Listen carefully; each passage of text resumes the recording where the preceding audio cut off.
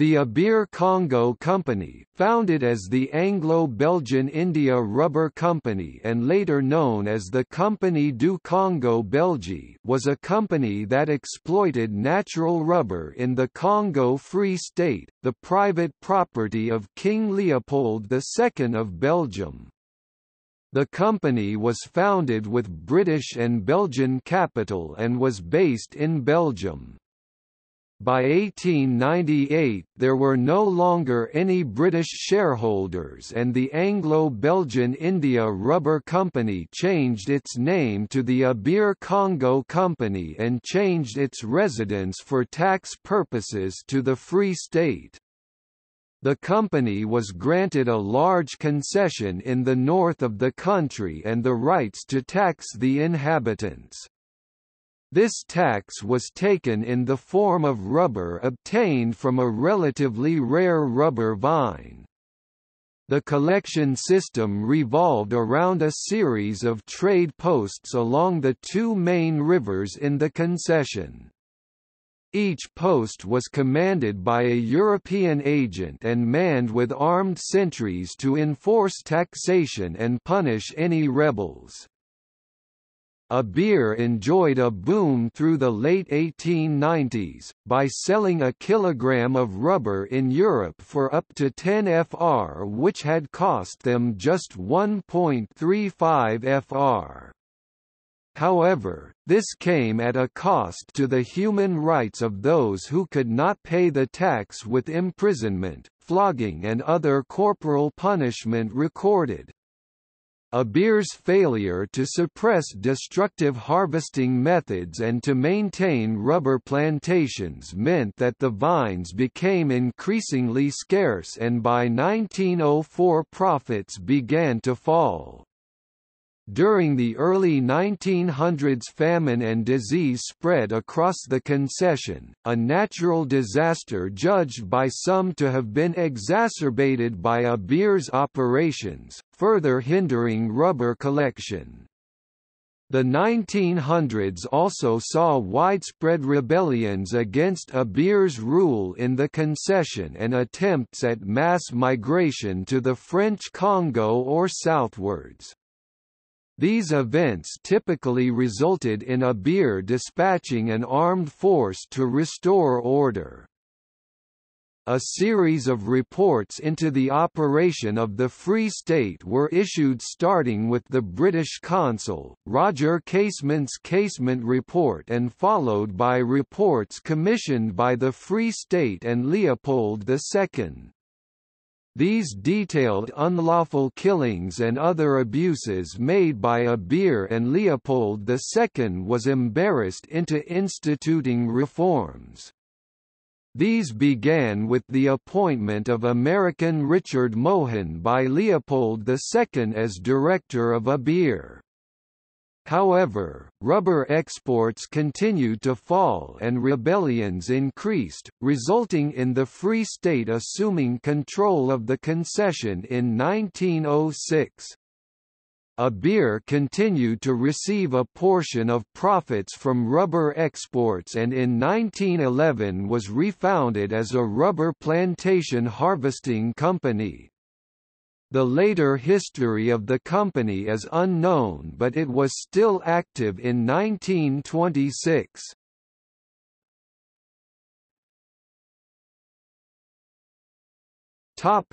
Origins The Congo Free State was a corporate state in Central Africa privately owned by King Leopold II of Belgium founded and recognized by the Berlin Conference of 1885. What would later become Abir Company territory was the land between the Lopori and Maringa river basins, tributaries of the Congo River, in the north of the state. The local populace here were yam and cassava farmers who engaged in trade with river fishermen and pygmy hunters. In 1885 a force of the Maniema people, followers of Tipu Tip, the Swahili Zanzibari slave trader, arrived at the head of the Lopori River from Stanley Falls. They took hostages from nearby villages to ransom in return for ivory. By 1892 they had enrolled local people into their army and controlled the entire eastern half of the basin. The Free State was concerned by this development and in 1889 had enacted the Monopoly Act which declared that all products in the area were to be under their jurisdiction alone. The Free State also began a campaign to drive the Slavers, traders and the Maniema from the region, the first stage of which was the establishment of a supply post at Basankusu in May 1890.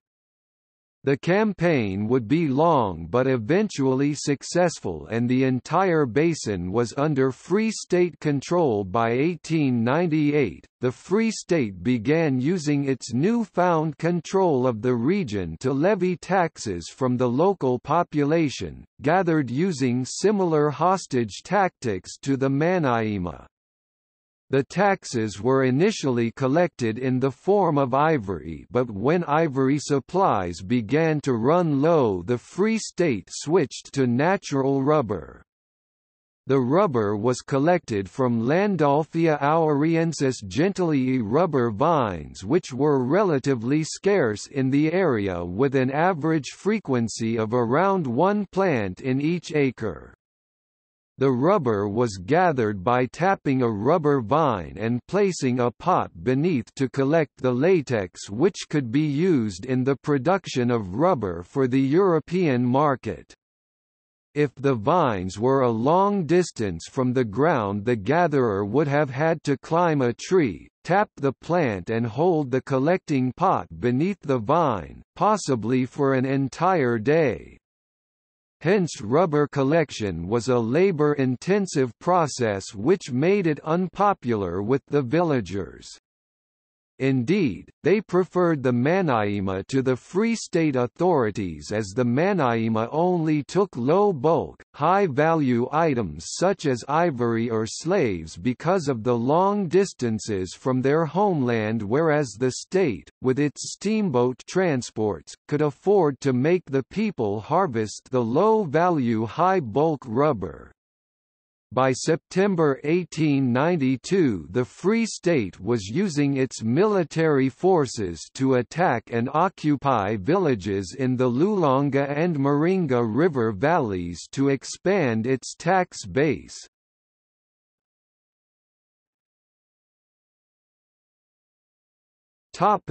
Establishment King Leopold decided to give concessions of his territory to private companies who would then collect the rubber tax and export it. With this in mind he approached British Colonel John Thomas North, who had made a fortune through speculating on Chilean nitrates, for capital with which to fund a concession company. North agreed and provided £40,000 of the 250,000 Belgian francs FR initial investment. As a result, the Anglo-Belgian India Rubber Company informally known as ABIR was established at Antwerp on 6 August 1892. The company was divided into 2,000 shares of 500 FR value each. British investors including North held 1880 shares whilst Belgians held the remaining 120 shares. In addition to the 2,000 ordinary shares there were 2,000 actions which entitled the holder to a share of the profits after a 6% dividend was paid to the shareholders. The Congo Free State was the holder of 1,000 of these actions. In return Abir received exclusive rights to all forest products from the Maringa-Lopori Basin for 30 years and all land within 20 miles of eight designated posts and had police powers within the limits of the concession. The Free State also had to supply guns, ammunition and soldiers to help establish the posts. In preparation two state employees were ordered to establish a headquarters for Abir at Basankusu but this was barely begun before the local villagers rebelled against state rule and killed both men.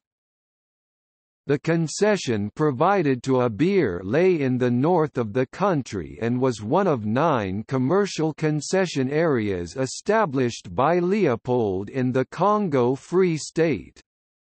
The concession was bounded to the north by the Congo River and the Société Anversoise concession, to the east by the Lomami River and the Lomami Company concession and to the west by the Lulonga Company concession which straddled the Lulonga River, into which the Maringa and Lopori flowed.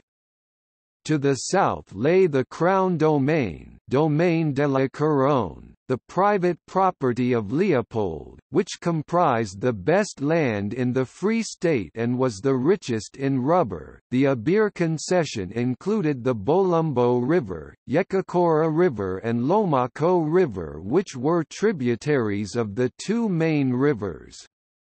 Each concession operated independently and exploited its own area commercially. The other main rubber companies in the Congo Free State were the Société Anversoise and the Lulonga Company but Abir was the largest in the country. Abir re-established their headquarters at Basankusu in 1893 and its position at the confluence of the Maringa and Lopori allowed Abir to expand along the rivers and their tributaries, establishing new posts along the way. Progress was slow as the Free State's activities had made the population in the west hostile to colonization and the east remained in the control of the Maniema and the Zanzibari Slavers. The company's first post on the Lopori River had to be relocated because of threats from locals and rubber collection at Bifori began only after a series of bloody conflicts between the villagers and Abir's men.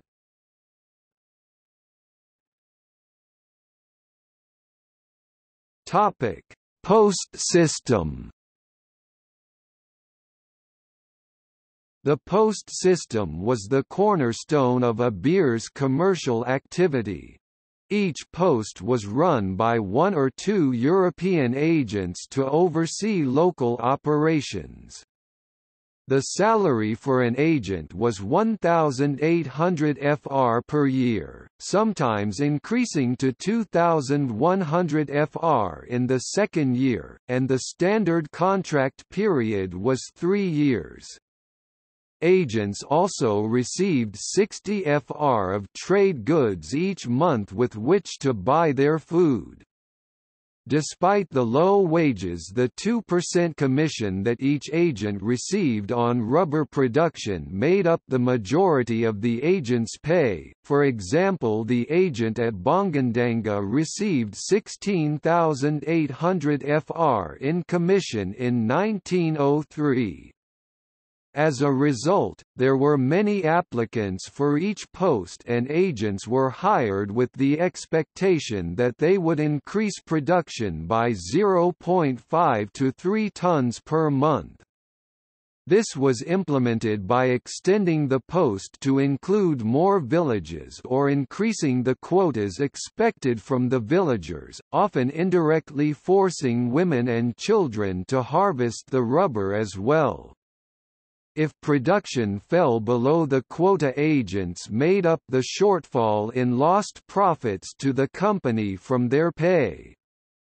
Each post consisted of a residence for the agent, barracks for armed sentries and sheds for rubber drying and storage, all built using labor conscripted from the villagers. A typical post employed 10 African workmen to sort and dry the rubber, 7 servants for the agent and 30 canoemen for local river transport.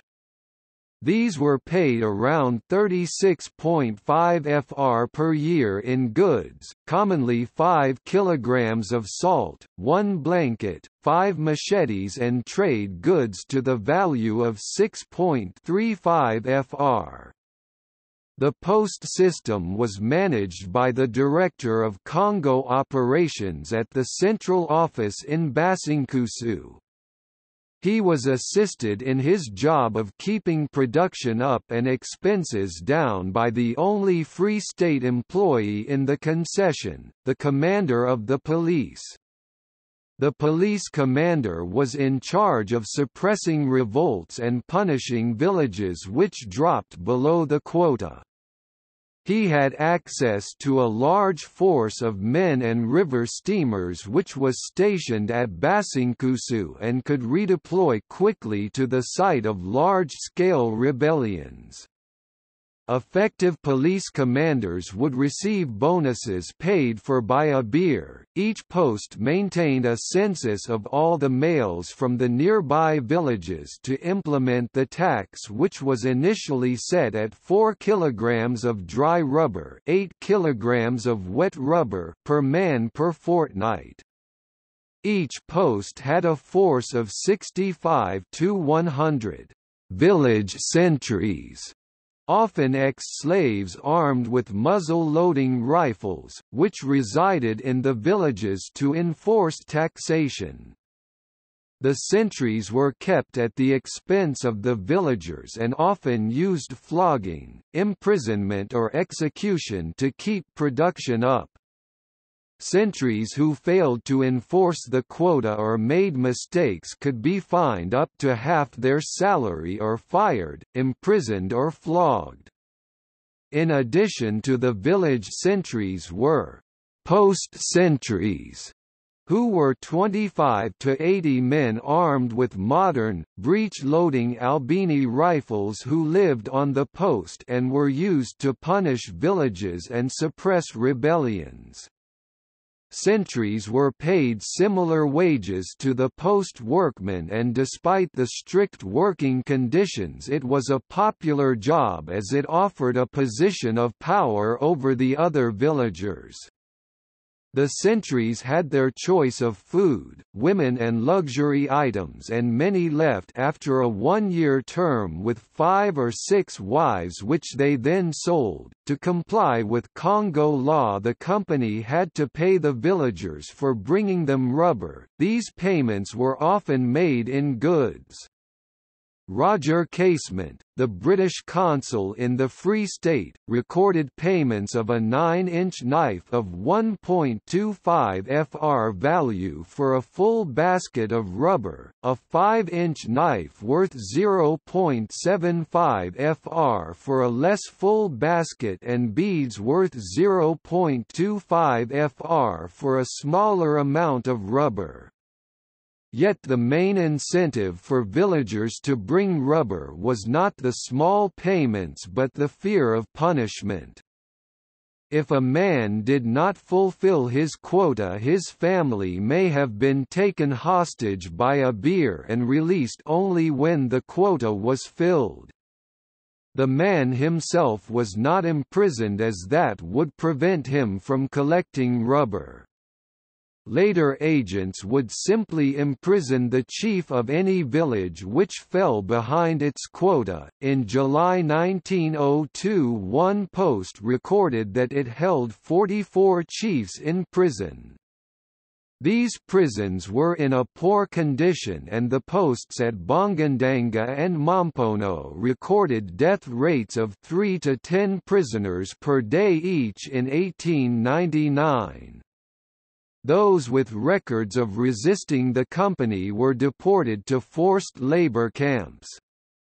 There were at least three of these camps, one at Larico, one on the upper Maringa River and one on the upper Lopori River. In addition to imprisonment corporal punishment was also used against tax resistors with floggings of up to 200 lashes with a chicot, a hippopotamus hide whip, being reported. Some agents would tie men to platforms facing the sun or burn them with gum from the copal tree as a means of punishment.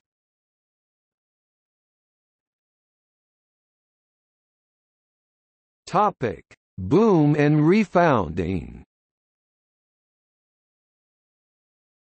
A Abir collected 70 tons of dried rubber in 1895, rising to 410 tons in 1898 by which time it had 11 operational posts. At the same time the price of rubber also increased from 6.30 to 6.50 FR per kilogram in 1894 to 8.04 to 10.00 FR per kilogram in 1898.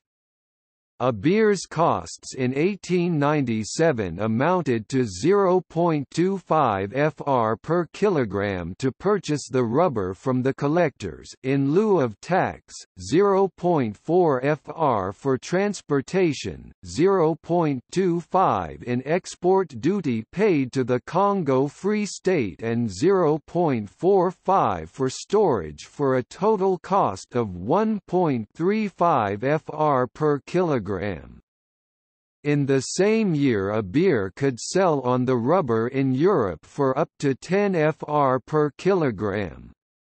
Abir's profits rose with the increasing quantity and price of rubber. For the first two years 1892 to 94, the company recorded a total profit of 131,340 fr. This had increased almost twentyfold by 1898 when they recorded a 2,482,697 fr profit just for one year.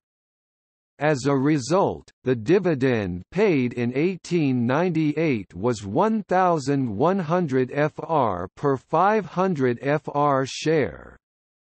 These profits were made in spite of increasing costs due to the doubling of export duty in 1892 and the construction of the Leopoldville-Matadi Railway in 1894 which increased the cost of moving rubber to the coast to 0.63 fr per kilo, more than the entire trip to Antwerp had taken in 1892. The Abir Company entered liquidation in 1898 as a means of tax avoidance and to escape Belgian business regulations.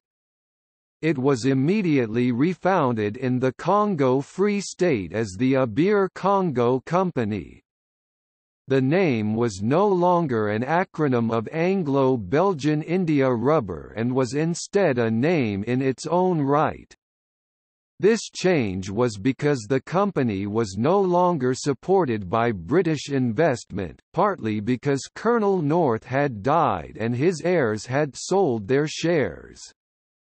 The new company had a simpler shares system with just 2,000 shares of 14,300 FR value each divided between investors. The Free State held 1,000 of these shares. As Abir was now tax resident in the Congo the Free State received 2% of their profits through corporation tax, in addition to the 0.5 FR per kilogram export tax. All initial capital investments had been amortized by 1899 along with material expenses in Africa and property and equipment expenses in Antwerp. In 1900 Abir reached the boundaries of its concession which covered 8 million hectares. The next three years were spent filling gaps between existing posts and by 1903 Abir controlled 49 posts, managed by 58 agents. 1900 was Abir's most profitable year and the Congo Free State's shares and taxes provided 2,567,880.50 FR of revenue for the state, 10% of that year's total. The share dividend in 1900 was 2,100 FR, in the early 1890s it had been around 2 FR per share.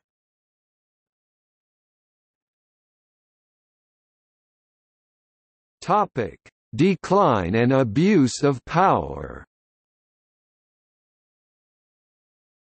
The rubber vine could be destructively harvested by cutting up the vine and squeezing out the latex whilst it lay on the ground. This was quicker and easier than non-destructive harvesting and was practiced by villagers who wished to fill their quotas and avoid punishment, especially once supplies of the vine began to run low. In addition some vines were destroyed deliberately by villagers who believed that once the rubber was gone Abir would leave the concession. Because of this destruction all rubber vines within 10 kilometers of Basankusu were depleted within 18 months of that post opening. In an attempt to slow the destruction of vines Abir issued orders in 1892 and 1904 which prohibited destructive harvesting methods but these were largely ineffective. In 1896 the Congo Free State ordered Abir to plant 150 rubber trees or vines for each ton of rubber exported to replace destructively harvested vines. This was increased to 500 plants per ton in 1902. By 1903 the plantation at the Bongandanga post held more than 1 million plants and by 1904 each Abir post employed around 100 workers to manage its plantation.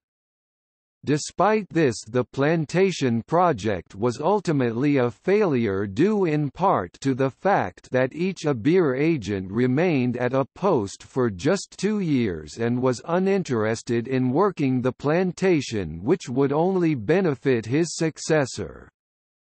Congo Free State forestry officers also noted that Abir plantations were smaller than required or even existed only on paper. Abir would also plant vines which looked similar to the Landolphia vine but did not produce rubber, as a consequence the Free State required them to instead plant the Clitandra vine which was more easily recognizable but did not produce rubber in its first eight years.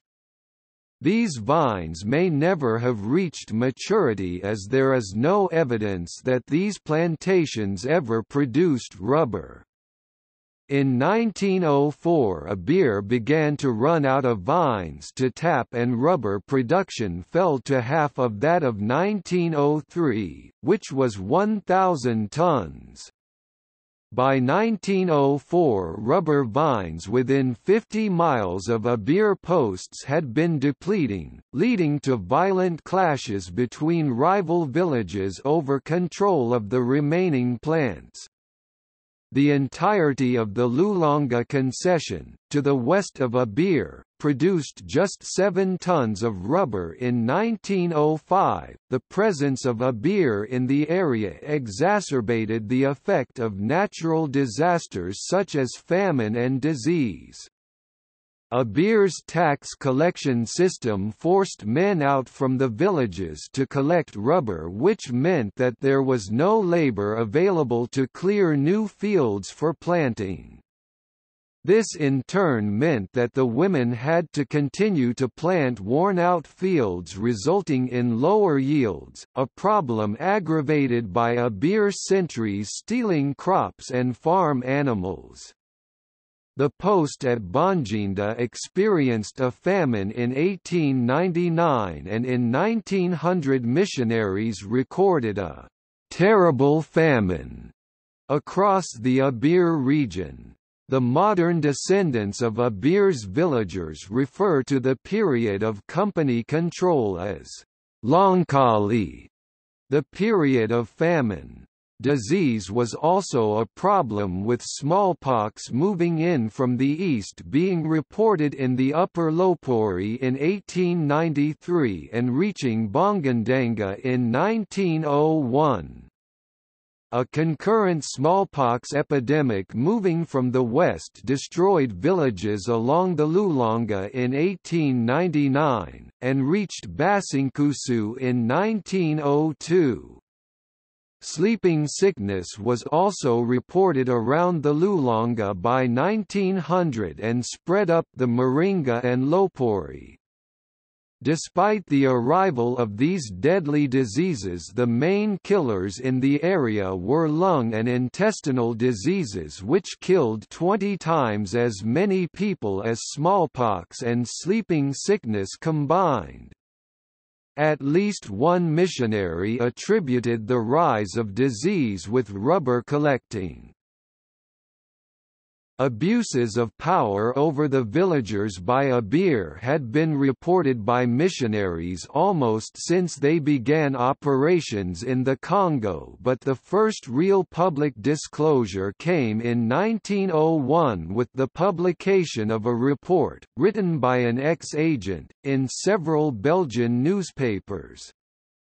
The Free State began an investigation into Abir's abuses during which an inquiry established at Bongandanga heard evidence from missionaries in the concession.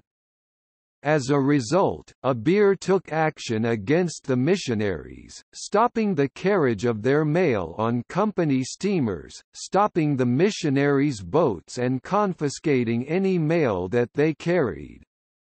Abir also forbid missionaries from buying food from villagers, forcing them to buy from Abir's own stores. In 1904 Roger Casement issued the Casement Report which condemned the Abir system, this resulted in the Free State launching another investigation later that year. Although evidence of unlawful killings made by Abir was uncovered the investigation had no powers of arrest and could only submit a report to the Free State authorities. This lack of action resulted in deteriorating relations between Abir and the missionaries and there was at least one attempted shooting of a missionary. Evidence for Abir's abuses also came from the governor of the French Congo, to the northwest, who claimed that prior to 1903 30,000 people had been driven from the Free State to the French Congo by Abir's actions. It is also known that Abir had been forced to put down rebellions of the Yamongo, Bunda, Bofongi, Lilingi, Bokenda, Pukaonga and Kailonji peoples around the turn of the century and that five Abir sentries had been killed near Bongandanga in 1901 and 1902 the Boangi and Likely peoples were forcibly resettled closer to the post at Bosau and in 1903 Abir troops intervened to stop the immigration of the Lika people and villagers near Samba. To stop small-scale immigration Abir instigated a permit system for people wishing to visit another village. At the Mompono post the Abir agent led a punitive expedition against the Seketulu tribe which resulted in 400 civilian deaths with hundreds captured and put in prison, where a further 100 died. when the Nsongo Mboyo tribe attempted to emigrate 1,000 were captured and sent to a forced labor camp. The Likongo, Lianya, Nkole, Yana Yanju, Nongo Ingoli, and Lofoma people all successfully fled toward Shwefa. Despite this chaos Abir managed to increase its exports for 1903 to 951 tons recording the second highest profits in its history. However, this partial recovery did not last long and soon profits were falling once more.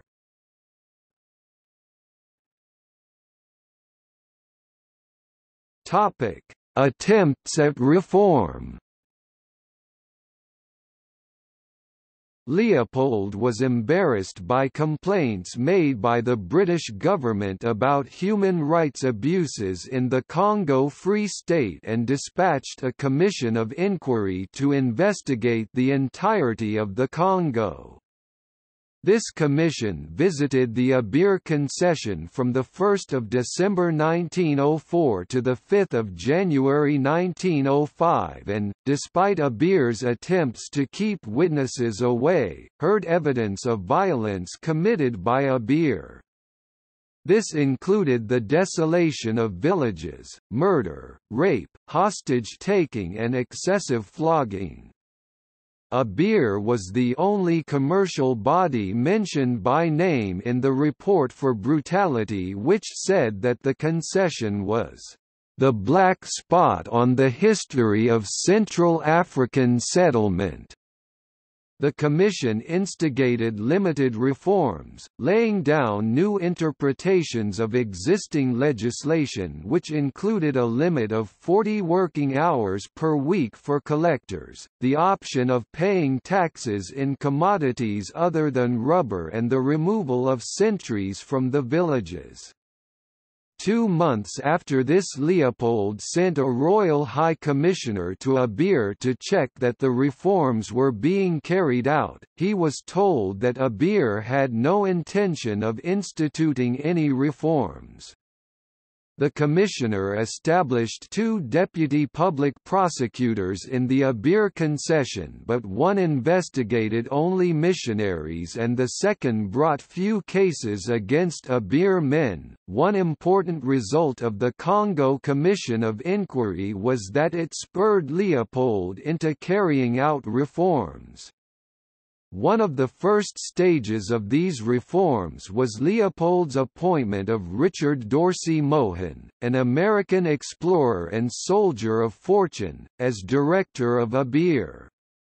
Mohun held a keen interest in the eradication of the slave trade and had worked for the U.S. and Belgian governments, with his duties including the suppression of cannibalism and slavery in the Free State. He was given extensive executive powers and placed in a position of unusual opportunity for the correction of past abuses. Despite this Abir's problems increased, the company reported an increase in rebellions against its rule and 142 of its sentries were killed or wounded during the first half of 1905. An uprising at the post of Baringa resulted in the spearing of several sentries and the cutting off of food supplies to the Abir post. Abir's military forces proved insufficient to restore control throughout the spring and summer of 1905 and they were forced to call in state troops. Three European officers and their Free State troops toured the area threatening villages with recriminations if rubber was not harvested, but despite this the post recorded absolutely no harvest for 1905 to 1906. A similar event occurred at Mompono where around half of the population fled the area, those that remained being forcibly relocated closer to the Abir post. the agent at Bongandanga tried to prevent a rebellion by reducing rubber collection from once per fortnight to once every three weeks. This was only temporarily successful and an Abir outpost was later burned down.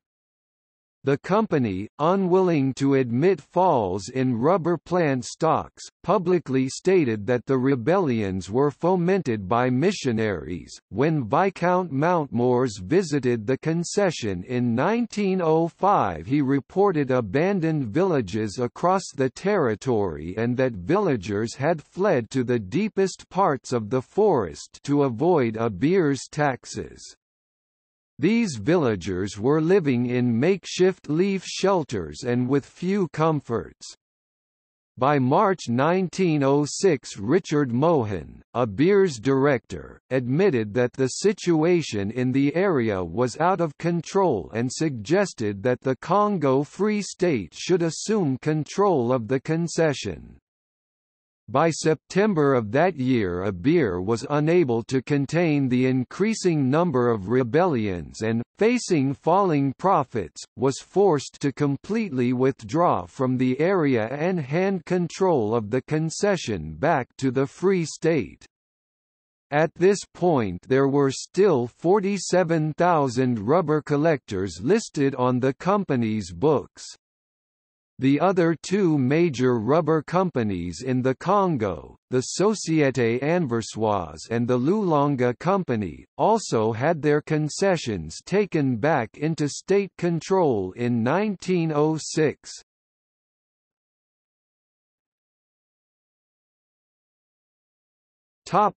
Free State takeover and legacy The Free State was happy to take over Abir's concession as the state had built up sufficient income to be able to afford to run tax collections by itself. In addition the Free State was embarrassed by the continuing allegations of atrocities caused by Abir and it could institute reforms more effectively if it were in control. Leopold authorized the takeover in the hope that the Free State would be able to resume rubber collection and exports and on 12 September 1906 an agreement was signed which stated that all profits from the concession would go to the Free State in return for payment to Abir of 4.5 fr per kilogram of rubber harvested until 1952. Leopold told Abir's shareholders that he expected exports to return to normal levels within two years. To restore control the Free State dispatched a force of 650 men and 12 European officers under the command of Inspector Gerard to the concession. They returned four months later, leaving some areas still rebellious and with news that there were almost no rubber plants left. As a result, the quotas expected per man were cut to just 6 kilograms of rubber per year, with some struggling to find even that much. State income was therefore negligible whilst the costs of controlling the concession continued to increase. Throughout this time Abir was still making a profit by taking its share of the rubber exported for almost no expenditure. By 1901 there were so few rubber plants left in the concession that the Free State authorities granted permission for the villagers to cut down the remaining plants and grind their bark to retrieve the rubber. Once this process was completed the rubber tax was abolished. The Abir Company merged with the Société Anversoise in May 1911 to form the Compagnie du Congo Belge and now focused on the management of rubber plantations and the gathering of rubber from them. However, later that year it agreed with the Belgian government to reduce the size of its operations and its monopoly status. In July 1911 it was banned from collecting rubber within the confines of its old concession for 18 months and was subject to new laws introduced by the Free State. The later history of the company is unknown but it continued to operate until at least 1926 when it split off its oil palm concessions into the Maringa Company. Abir's rubber gathering practices made it the most notorious of all the concession companies for human rights abuses in the Congo Free State. Abir was only involved with primary resource gathering and, despite being owned by European industrialists, operated in a style similar to warlords such as Tipu Tip. Abir was supported in its operations by the Free State which required the enormous profits generated to strengthen its control over the country during its formative years. The concession companies gave the Free State the time and revenue required to secure the Congo and to plan a long-term and more stable program of colonization. Abir ultimately failed as its harvesting process valued high production over sustainability and it doomed to live out its own boom and bust cycle. Despite this the Abir production model was used by the French government as the basis for its concession system in the French Congo.